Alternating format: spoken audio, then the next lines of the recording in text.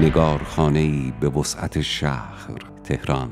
اول تا دهم خرداد ماه 1395 سازمان زیباسازی شهر تهران.